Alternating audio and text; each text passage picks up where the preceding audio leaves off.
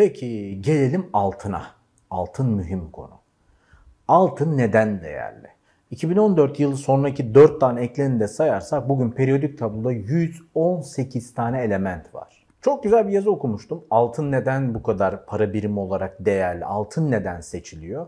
Neden bir döneme kadar ki 1970'lere kadar altındı her şeyin ödemesi? Sebebi şu okuduğum yazıya göre ve çok güzel anlatılmış. Periyodik tabloyu gözünüzün önüne getirin ya da ben ekrana getireyim hiç zahmet etmeyin. Periyodik tablonun sağ tarafı bir işimize yaramıyor. Niye? Çünkü burada asil gazlar var ve halojenler var. Bunlar bir takas için kullanılamaz. Çünkü şişe içerisinde gaz mı taşıyacaksın? Hangisi hangisi bilmiyorsun ki renksiz bunlar. Ve hani ah, açtım gitti para transferi yaptım olmayacak. Dolayısıyla gazları atıyoruz. E, diğer iki sıvı birim civa ve brom. Şimdi civa da brom da zehirli maalesef.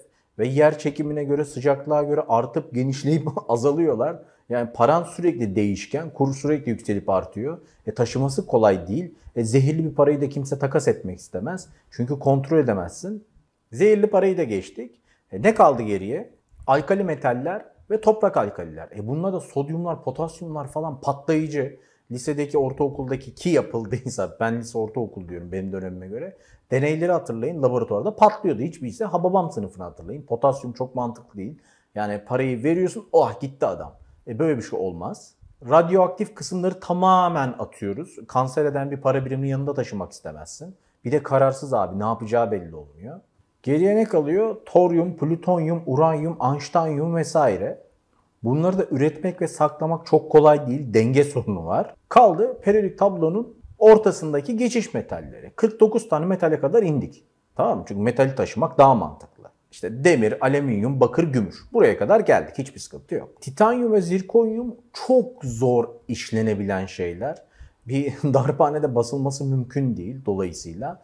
Verdiğiniz enerji çok daha yükseğe geliyor. Bunları da geçtik. Zaten bunların kullanım yerleri çok daha değerli yerler.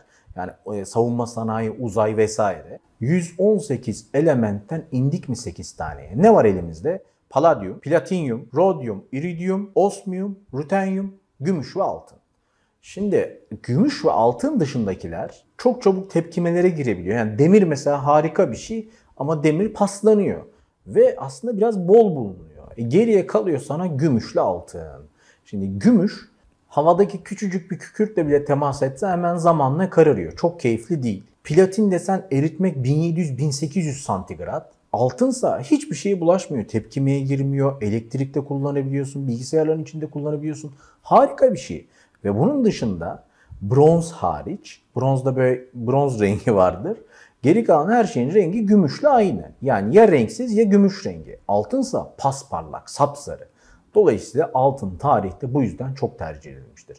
Hem kolay taşınmıyor hem rengi güzel. Yani bir şey yapmak için güneşi temsil ediyor rengi. Hem de aynı zamanda diğerlerine göre daha şeklini koruyor. E, Londra'da bir müzede 1000-1200 yıllık altından bir timsah duruyor hiç değişmemiş, hiç bozulmamış. Düşünün. Sen padişah olsan veya kral olsan, imparator olsan, artık firavun olsan bir parayı altın olarak mı istersin yoksa kararan bir gümüşün üstünde mi resmini istersin? 1973'e kadar altın geçerli para birimi oluyor. Ama 1973'te Amerika Başkanı Nixon diyor ki ya altın rezervleri de azaldı. Millet bizde para olmadığını çakmasın. Biz dolara endeksleyelim. O gün bugün dünyadaki aşağı yukarı bütün para birimleri dolara endeksli gidiyor. Her şeyin fiyatı dolara endeksli gidiyor. Yani pet petrol bile dolara endeksli gidiyor.